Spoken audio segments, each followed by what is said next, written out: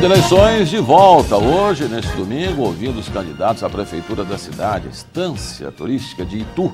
E agora chegou a vez de ouvirmos o candidato da situação.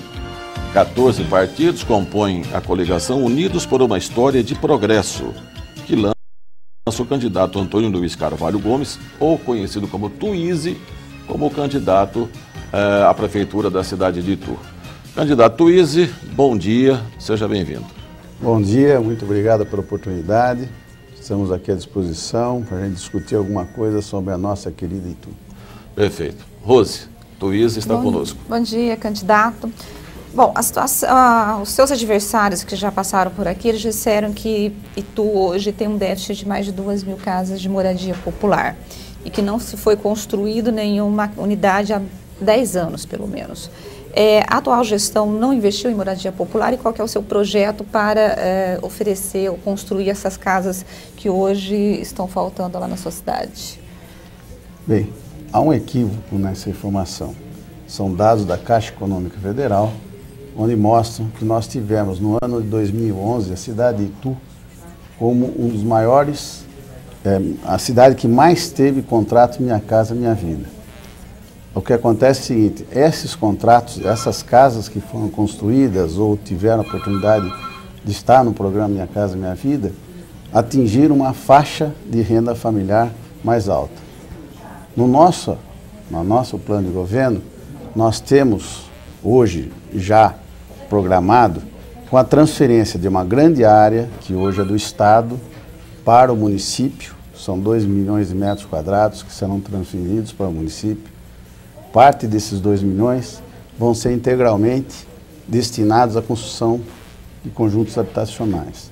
Além disso, nós já temos um convênio com o CDHU, na região do Pirapitingui, já começam agora a construir neste segundo semestre mil novas casas, que nós vamos atender os primeiros que estão cadastrados na Secretaria de Habitação. Então, dessa forma, nós vamos acabar com o déficit habitacional. E, e essas famílias são de baixa renda, de 0 a 3 salários mínimos? Exatamente. Com a, como na cidade de Itu, a prefeitura não tinha área própria para destinar conjuntos habitacionais. Com isso, essas, essas casas que foram contempladas com Minha Casa Minha Vida, elas tiveram que ser adquiridas pelos empresários, pelos construtores. E eles tiveram um custo maior. Por isso que ele atingiu uma faixa de renda familiar maior. Com a disponibilização da prefeitura dessa grande área, nós vamos atender exatamente essa faixa de 1 a 5 salários mínimos, que é atendida pela Minha Casa Minha Vida, nós vamos atender dessa forma.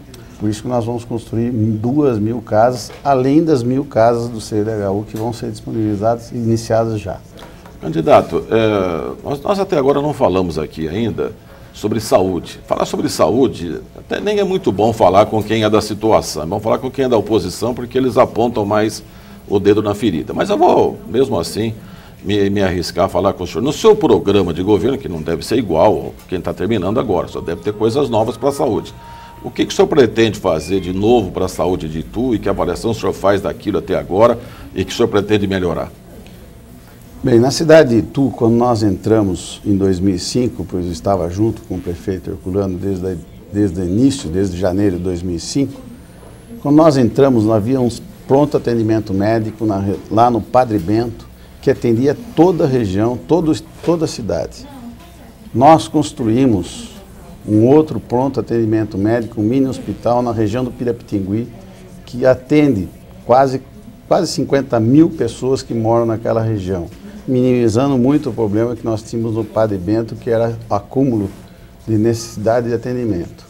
Hoje nós estamos fazendo um outro ponto de atendimento na região do na Parque Industrial, em frente ao Colégio Agrícola, um prédio de 2 mil metros quadrados, vão ter 121 é, funcionários da saúde com atendimento 24 horas. Isso vai melhorar em muito, quer dizer, nós saímos de um pronto atendimento médico pequeno, que é do Padre Bento, para três, e nós vamos, dentro do nosso plano de governo, tá, a reforma, a construção de um outro pronto atendimento médico lá no Padre Bento para adequar. Hoje o prédio ficou muito modesto em função dos outros dois que foram construídos, um em construção e outro já em pleno funcionamento. Nós vamos readaptar, fazer um novo prédio lá no de Bento. Daí nós vamos ficar com três pronto atendimento médico. Mas além disso, a cidade de Itu, ela foi beneficiada através da atuação da deputada Rita Passos, onde nós trouxemos para Itu um ambulatório médico de especialidades, onde nós temos 32 especialidades, 300 funcionários do Estado trabalhando lá na região do Pirapitingui. Tudo isso e todos os nossos postos de saúde, nós temos lá a previsão dentro do nosso plano de governo de construir dois novos postos de saúde, reformar todos os postos, todos os postos de saúde existentes, deixando-os completamente padronizados para todas as áreas da cidade de Itu. E a contratação de médicos? A contratação... Tem médico? E tu consegue manter um quadro estável de médicos, que é um problema em todas as cidades, né? É um problema em todas as cidades.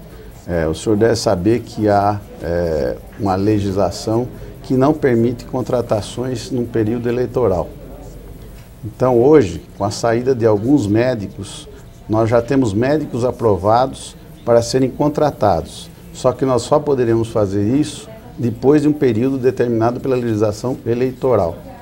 Nós temos médicos prontos para assumir os postos dos médicos que saíram, que por qualquer motivo saíram, ou pediram demissão, ou foram para uma outra área, enfim. Alguns médicos que hoje estão faltando na rede serão. Quantos? Qual o déficit? Eu, não, eu imagino que deve estar faltando uns 10, 15 médicos na rede. E esse déficit tem provocado atraso em consultas? Qual que é o tempo médio hoje para um ituano conseguir uma consulta nas unidades de saúde da cidade? É muito importante a gente entender quais são o tipo de, de, de é, consulta. Né? Se nós temos alguma coisa que depende do Estado, que faz parte de um Estado, por exemplo, se nós tivermos exames que são feitos na cidade de Itu, sob responsabilidade do município, isso não é demorado. A partir do momento que nós temos que ser exames... Eu pergunto da prefeitura. Pois é. Quanto tempo hoje demora para você não, conseguir uma depende, consulta? consulta é, não Clínico é... geral, que é o maior problema hoje na cidade, faltam clínicos gerais.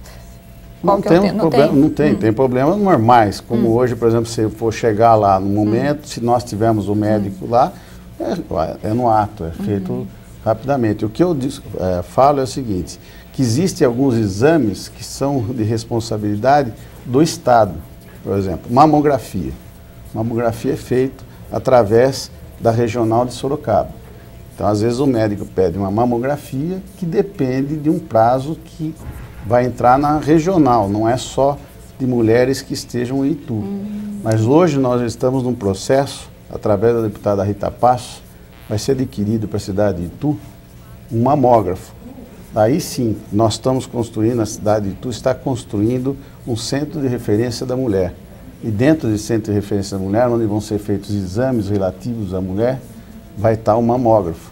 Aí nós vamos minimizar muito esse tempo entre uma solicitação de um clínico tá. até a gente ter esses exames prontos. Candidato, a, a, a, empresa que faz a gestão da água, ela foi concessionada e hoje quem cuida é uma empresa privada.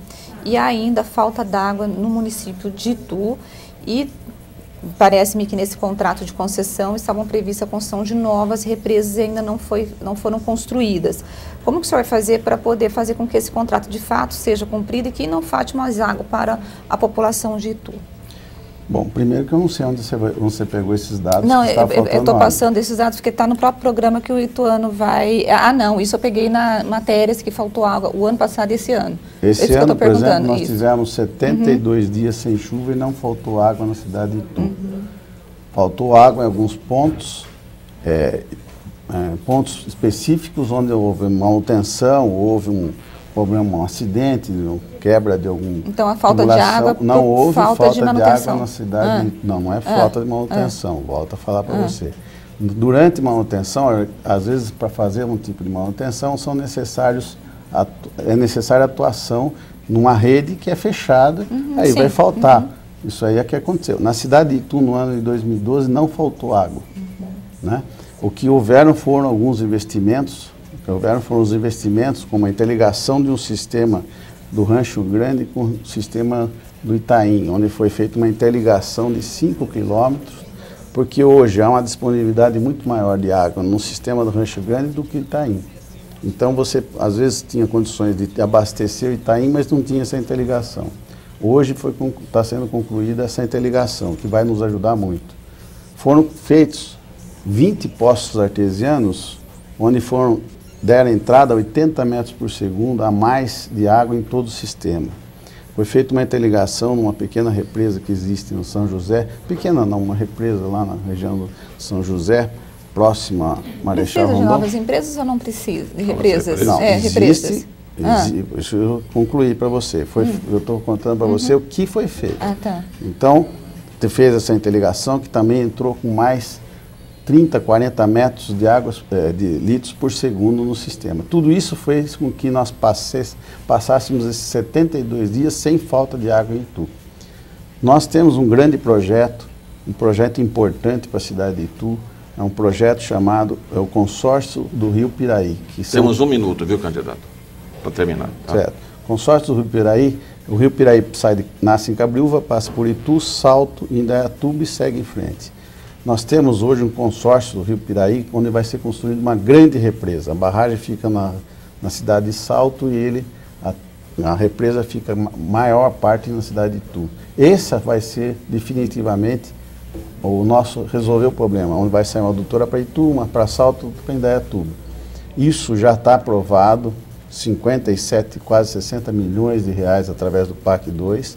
Está em fase de a- eh, licença ambiental junto aos órgãos próprios para fazer toda essa represa e aí nós, sim nós vamos ter uma solução definitiva para a água de Itu. Agradecemos ao candidato Tuíse, o tempo dele é igualmente distribuído com os outros terminou. Um abraço, senhor, boa sorte, viu, candidato? Muito obrigado. Muito obrigado pela oportunidade, agradeço, uma oportunidade democrática e peço o seu voto, Ituano, número 55, Tuíse. Ok. Depois do intervalo, o último candidato será entrevistado aqui, eleições 2012, os candidatos à Prefeitura de Itu. Até já.